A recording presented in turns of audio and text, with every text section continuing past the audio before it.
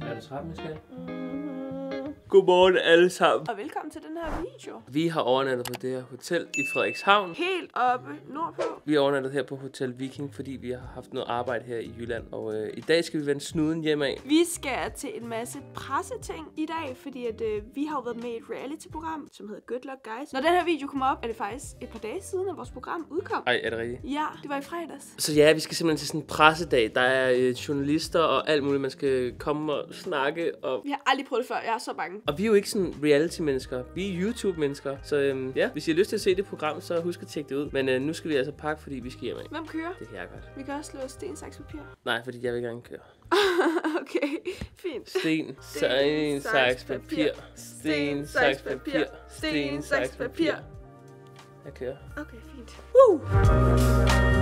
Før vi lige smutter, så vil vi gerne vise det værelse, vi har boet på. Fordi man kan ikke forlade et hotelværelse uden at lave en house tour. Og det ved I jo godt. Øh, der er en lille stue her. Ja. Ej, det er så flot det her jo. Her kunne man have siddet og læst bøger og alt muligt. Jasmin, vi bruger altid eksempel med at læse bøger. Det kommer ikke til at ske. Nej. Men vi skal læse mere bøger. Her, soveværelse. Det hele er et rum. Det, går, det er bare sådan adskilt. Det hele er et rum. Det er bare sådan adskilt. Hele det her hotelværelse, det er et rum, men det er bare lige sådan adskilt i nogle vægge og sådan noget. Okay. Der er en jacuzzi her. Fik vi ikke brugt. Nej, men vi var nede i Spanien i går. Det var det. Lad os komme hjem. Vi fik lige lidt morgenmad og kaffe med på vejen. Der var en, der var sød og ville give os kaffe. Hvordan gør vi det her lige nu? Vi skal have det her ind. Oh. Skal det bare ikke splash ud med kaffe i vores nye bil? Jeg har brug for hjælp her. Tak. Nu skal vi køre i to timer hen til Aarhus og hente Baloo, og så tager vi med færgen til Sjælland. Let's go.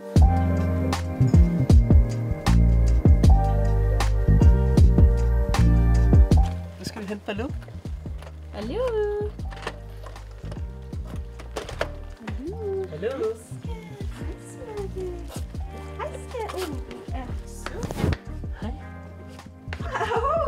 Så er vi på færgen, og øhm, vi tænker bare at gå ombord. Puh, ja, mand. Vores bil har 11% strøm, så vi skal finde en eller anden ladestander, når vi kommer tilbage til Sjælland. Vi skal lige finde ud af det der med ladning og sådan noget. Man skal lige vende sig til det. Ja, jeg skal lige vende os til det. Jeg synes ikke, den har kørt så langt øhm, på den her ladning fra der, vi kom fra. Men det er også vinter, men det er ikke engang minusgrader, så sådan... Måske er det også, fordi jeg kørte 130 hele vejen, så mister den hurtigt strøm. Men indtil videre, så er det lort at have elbil. Ej, det var sjovt. jeg det er troede, det du mente. Det er det ikke. Vi er glade for den, men ja, man skal lige, som sagt, vende sig til det. Jeg skal lige vende sig til det der med ladning, ikke? Jeg smutter ombord på den færge der. På den båd der. Så er vi på færgen. Ja, jeg er så træt. Jeg elsker Peter Plus. Tilbage i bilen, og vi har et problem. Vi har 8% strøm, så vi skal simpelthen lige finde en ladestander tæt på. Der er en lige her ved færgen, men øhm, vi er bange for, at den bliver optaget. Det vil ikke være sjovt, hvis vi lige pludselig bare går død, og så må man bare ringe efter Falk, eller hvad man overhovedet? Jeg tror, man ringer efter hjælp, og så bliver man kørt til en ladestander. Tror du ikke, det er sådan noget? Jo, det er nok sådan noget lignende. Det giver mening. Lad os se, hvad der sker. Det er spændende, det her. okay, vi står i en kæmpe lortesituation. Mika han står derude og prøver at få ladningen til at fungere, men det virker seriøst bare ikke. Og vi er stok her. Vi har 8%, og der er 24 km til den nærmeste anden ladeboks. Og den her virker bare ikke. Mika har prøvet at få den til at fungere i 40 minutter nu. Vi ved ikke, hvad vi skal gøre. Vi er sådan bogstaveligt talt stok. Altså det ender jo med, at man skal sådan ringe til Falk og alt muligt, og sådan få dem til at hente os. Og, og vi når nok ikke til det der presse ting, vi skulle have været til, hvilket også er mega nederen. Jeg har virkelig ondt af Mika lige nu. Han har bare været udenfor i 40 minutter og prøvet at få det der til at fungere. Lige nu er det ikke skide sjovt at have en elbil, faktisk. Der ville man bare ønske, at man kunne gå ind og tanke benzin på. Måske var det også lidt for risky, at vi bare tog afsted med ikke så meget. Men altså, man regner jo bare med, at det virker, og at tingene lader, når man kommer til en ladeboks.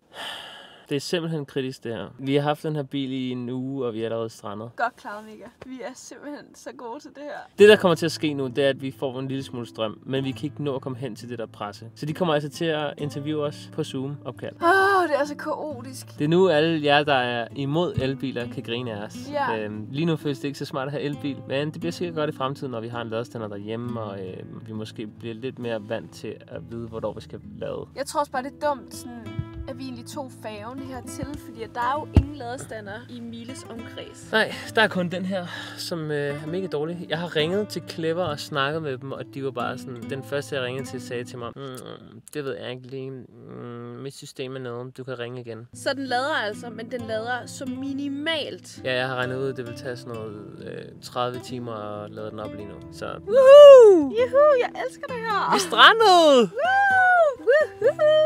Sidder bare her og kigger på... Ingenting. Vi har ikke noget mad, Mika. Jeg er så sulten. Min mave har knurret 10.000 gange. Hvad gør vi? Kan jeg altid se nogle YouTube-videoer på mobilen eller et eller andet? Mika, jeg har 1% strøm. Ja, så Jasmins mobil er også ved at gå død, så det er en fed situation. Men udover det, så er bilen jo meget lækker, sådan flot og sådan noget. Jeg hader den. Nej, jeg er glad for den. Vi har været her i to timer. det er to timer siden vi kom. Og for at lige give et indblik i, hvor vi er, så kan I se her på kortet. Her er Danmark, og her er Sjælland, og vi er så her. Jeg tænker, øhm, vi bliver nødt til at lave et eller andet, Jasmin, for at få tiden til at gå. Ja. Okay, Mika, vi leger en leg. Hvad tænker jeg på?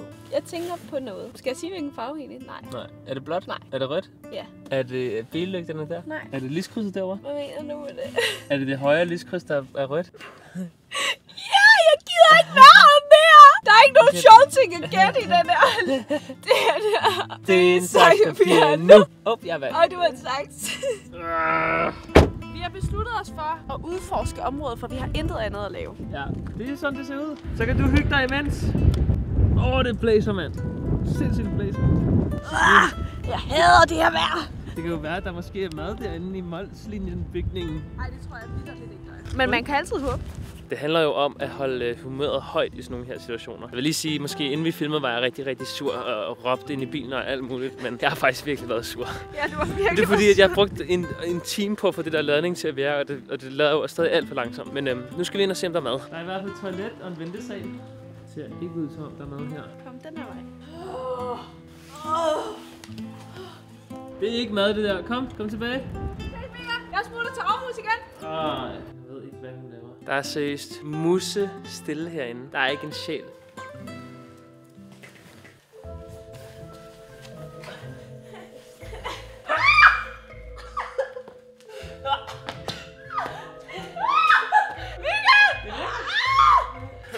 jeg kan ikke mere. Status er den, at vi er kørt ud til sådan et totalt forladt sted. Endnu mere forladt end før, føler vi. Uh, altså, den her dag kan ikke blive mere forfærdelig. I hvert fald så øhm, har de også lige øh, sagt til os, at øhm, der ikke bliver noget presseting for os i dag. I stedet for, så tager de nok fat i os i morgen, da der er Reality Awards, som vi skal øh, til. Det er også fint nok egentlig, tænker jeg. Nogle af dem vil fange jer i morgen til award, og andre vil kontakte jer en anden dag. Har I fået løst opladningsproblemer? Nej. Altså, det er vel heller ikke opladet her, eller hvad? Jamen, jeg forstår det ikke. Vi er ved en 37 kW lader, og den lader lige nu med 1 kW. Siger den i hvert fald i appen, men her siger den 5.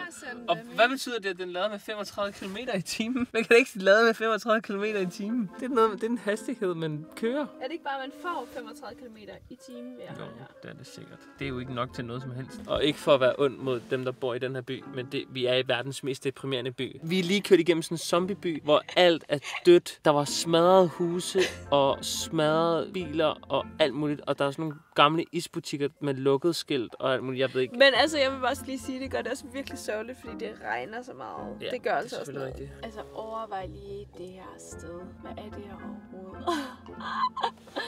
jeg er sulten! Vi er i sådan en sommerferieagtig by. Der er mange sommerhuse, og der er isbutikker, men alt er lukket, og jeg har ikke set det eneste menneske. Ja, og der er ikke noget mad i nærheden. Der er ikke noget mad i nærheden, og vi, og vi kan ikke køre længere væk for at få noget mad. Tror du, vi skal dø her, Mika? Nej, men jeg tror, vi skal sælge vores nye bil og købe en anden, der ikke er elbil.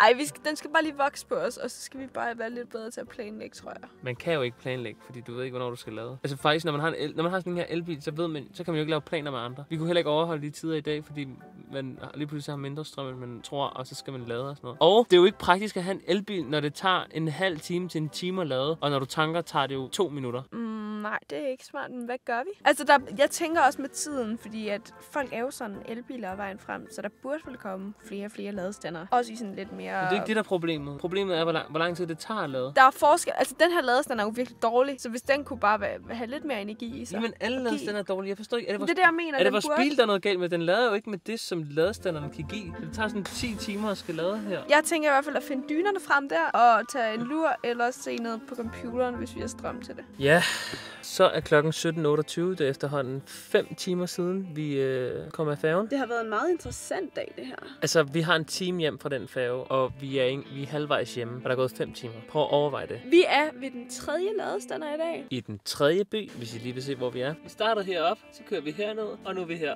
Så nu er vi simpelthen er midten af hele Sjælland, og vi skal tilbage til København. Men vi har bestilt noget mad, og det hjælper altså lidt på det. Bagels. Og den ladestander, vi har fundet, er den hurtigste indtil videre, så det går... Det, går fremad. Det går fremad.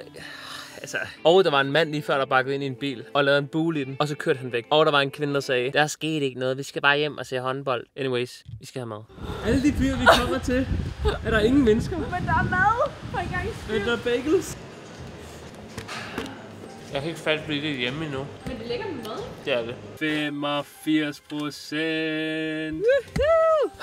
Tænk, at vi skulle bruge hele dagen i bilen, Jasmin. Det havde jeg godt nok ikke troet, at den her vlog overhovedet skulle handle om. Det havde jeg ikke troet heller. Det var meningen, at vi skulle til sådan en presseting og lave interviews til journalister. Det blev ikke til noget. Sådan er det at have den her bil, åbenbart. Ja, ja. Nu skal vi heller ikke snakke alt for dårligt om den. Vi skal... Nej, vi elsker bilen, og vi har sagt til hinanden, vi skal bare lige vende os til det og blive vant til at blive bedre til at have en rutine med, hvornår man skal lave og sådan noget. Præcis. Men den mangler lige sådan øh, omkring 10% endnu, før vi kører hjem af. Og imens at det sker, så tænker vi lige at se lidt Netflix. Præcis, så øh, ja, Hyggetid. hyggetid. Vi er hjemme. Vi er hjemme, og vi er i gang med at tømme bilen. Åh, jeg er så lykkelig lige nu. Det har været noget af en rejse. Her er vores røde bil. Mm, mums. Nu skal der bare tømmes, og så skal vi ind og slappe af. Hvad har du gang i? Hvad har du gang i? Jeg er i gang med at sætte den her op. Tada! Det ser godt ud, Mika. Mika han har fået øh, en Playstation 5. Og Baloo han leger med en flaske der. Uh. Ikke mere leg med Faxi Baloo. Der er altså lige gået en dag, øhm, fordi vi simpelthen var så trætte efter den afskyelige dag, at vi øh, glemte at afslutte vloggen. Men vi håber, trods at øh, dagen ikke helt gik, som I troede, den skulle gå, I os med i den her video. Vi håber i hvert fald, det aldrig kommer til at ske igen, at vi skal strande et eller andet sted, fordi vi ikke kan finde ud af at lade med vores elbil. Vi krydser vores fingre for, at det aldrig sker igen. Det Men- kommer sikkert til at ske. Altså, jeg ved det bare. Det tror jeg også, det gør. Vi har kun haft bilen i en uge, Mika. Pinligt. Det er pinligt. Men øh, vi håber stadig, I synes, det var en sjov video, og øh, så ønsker vi jer bare den bedste dag. Nogensinde. Ha' det rigtig godt. Hej hej. hej, hej.